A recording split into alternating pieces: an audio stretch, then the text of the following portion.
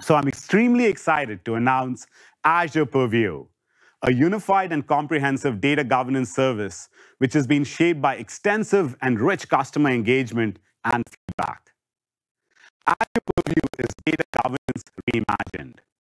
It helps you maximize the business value of your data by empowering everyone in the organization to find and understand the data that matters to them. Purview also provides rich insights about your data estate at large, providing chief data officers and their teams the critical information they need to effectively govern data use and assess risk. Purview solves the problem of understanding your data estate head on. Purview enables you to build a holistic map of the data assets, including data relationships and lineage across your entire data estate. The best part is Azure Purview provides data source scanning and classification across multi-clouds and hybrid data sources, making populating the data map automatic and covering your entire data estate comprehensively. We talked in the last section about the power of Azure Synapse to integrate and analyze data across operational databases, data lakes, Power BI, and more. Now with Azure Purview, all that data and its lineage is automatically mapped and understood and made available to you. Powered by the data map we just discussed, Azure Purview provides an intuitive data catalog that empowers all the users to search or browse for data using terms they understand. This means technical users can search by technical facets, such as location file type or data type, whereas business users can search using the language of their business domain. Azure Purview enables this by providing a business glossary that enables the creation of a trusted inventory of all business terms and how they relate to data in the map. Gone are the days of manually building, maintaining, and integrating data dictionaries and business ontologies. It's exciting to see customers' overwhelming interest in Azure Purview. Let's talk about one fantastic example. Grundfos is the world's largest water pump manufacturer and partners with the UN to bring potable water to most vulnerable communities around the world. Grundfos uses Azure Purview so they can better understand and use data across their company. They do this by scanning and classifying more than 100 million data assets across operational databases, data lakes, ETL jobs, and over 16,000 Power BI workspaces. All this empowers Grundfos employees to easily collaborate across the company by publishing and discovering data from the Azure Purview catalog and ensures Grundfos data officers understand what data exists across the entire organization. This is a foundational piece to furthering Grundfos's digital transformation, which leads to solutions that scale and truly improves lives. With that, I want to invite Mike Flasko who leads the Azure Purview product team to show you Azure Purview in action. Mike, please take it away. Thanks, Rohan. So we heard how data is one of our most strategic assets, yet three quarters of it's still not being analyzed. This is often because it's still too manual and time consuming to understand all the data that we have. This is where Purview comes in.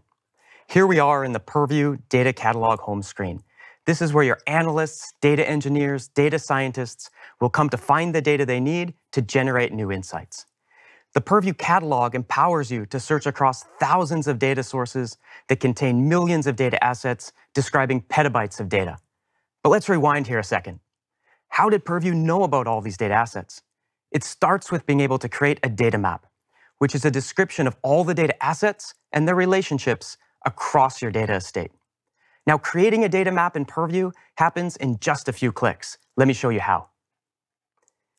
Here, in the data sources view, you can see that I've already registered a range of different sources, but let's go ahead and add one more. Here, I can add on-prem through to cloud sources such as Amazon S3, Cosmos DB, SQL Server, Teradata, SAP, Power BI, Synapse, and more. But in this case, I want to register my petabyte-sized data lake. So let's select the data lake option. Let's ensure we've got the right one. And that's it. Now my lake is registered with Purview.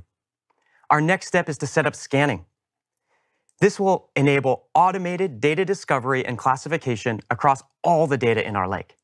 Here we can select a portion of the lake to scan or scan it all. Let's bring it all into view.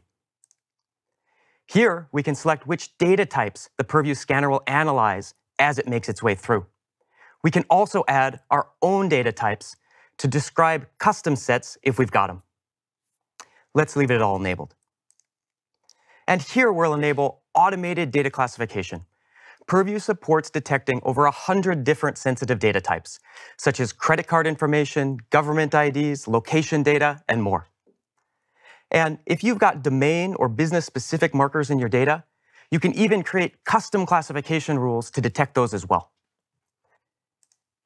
Let's go ahead and leave all of the classifications enabled so we can get the most complete understanding of our data lake.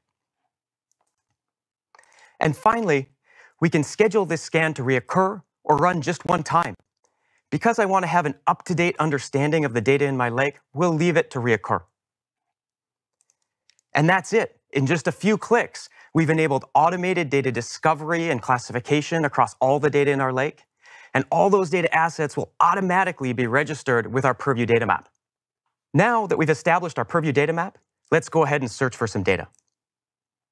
For this next section, assume that I'm a data analyst and I'm trying to find all the relevant data that will help me understand the effects of a recent global marketing campaign that my company's just ran. I'm looking for data such as revenue data, customer data, app signups, weblog data, and more. Let's start by searching for revenue data. As I search, I get suggestions and recommendations. As I execute the search, I can see that I get back over 100 results ranked by relevance across a range of different data sources. I could start going through these results, or I can narrow them in by business term, data classification, or data owner. In this case, since we're looking for data about a global marketing campaign, let's narrow into just global revenue data. And here, this first result, revenue by customer, this is starting to look interesting, so let's drill in. At a glance, I get a more detailed description of the data. I can also see the operational state of the data, such as when it was created, as well as when it was last modified. I can see that this table is also confidential because it includes a range of different PII types, such as name and email address. But let's drill in further. Here we can see exactly how the table is made up. Its columns, data types, associated classifications, business context, and more. This looks like interesting data. But before I can start using it in any of my analytics, I need to understand where this data came from. Here in the lineage view, I can see that this table is sourced from our SAP CRM system, a retail database, and a sales database, both of which I recognize from a past project. Now I know I can trust this data. Now the really cool part is I can also look downstream to see all the existing uses of this data that I might be able to reuse. Here I can see there's a campaign analytics Power BI dashboard that's already been created from the data in this table. Let's drill into it to understand it more. Here we are in the dashboard itself. We're looking at the lineage view for this new dashboard, and we can see that this dashboard is made from revenue data, campaign data, customer data, weblog data, and more. This is definitely something that I can reuse. Further, I can see that this particular dashboard has a certified endorsement. This means it's a dashboard I can trust. My next step could be to click the Open in Power BI button and get started interacting with the dashboard straight away. Hopefully, this has shown you how the Azure Purview catalog empowers everybody to quickly find the trusted data they need to generate new business insights. Now, I'd like to switch gears a little bit. For data officers, having a holistic understanding of all the data assets across your map is critical to maximizing the compliant use of data across your organization. Purview provides you a bird's eye view of all the data in your map. This enables you to gain key insights such as the distribution of your data, where data moves, who it's shared with, where sensitive data is, and more. Now, in this case, in the assets view, we can see that my data is distributed across on-prem through to cloud sources such as SQL Server, Teradata, Amazon S3, SAP, and more. Next, in the glossary view, I can quickly assess how effectively our subject matter experts are using the Purview Business Glossary to provide the business context associated with all of our data assets. And here, this is a great view for compliance teams. At a glance, I can quickly see all the sensitive data we're collecting across our map. For example, here we can see we're collecting a lot of email address data, inventory numbers, credit card data, and even EU GPS coordinates. Now, that last one's a bit of a surprise to me. I didn't think we stored that kind of location data. So now I want to zone in and understand exactly where that data is being collected. Let's do it. We'll drill in. We'll find the EU GPS coordinate sensitive data type. And here we can see that the EU GPS data is being collected in exactly two of our Amazon S3 accounts. Now I can consult the data map, follow up with the data source owner, and ensure that this data is part of our privacy by design practices. So that was a brief walkthrough of how Purview empowers you to discover, understand, use, and govern all your data assets.